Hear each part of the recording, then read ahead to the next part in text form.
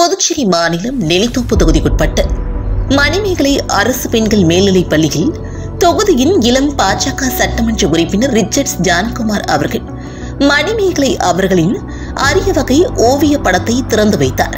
பின்னர் மாணவிகளுக்கு மழை அங்கேயே வழங்கினார். இந்நிகழ்ச்சியில் பள்ளியின் ஆசிரியர்கள் கட்சியின் முக்கிய பிரமுகர்கள் உட்பட பலர் கலந்து கொண்டனர்.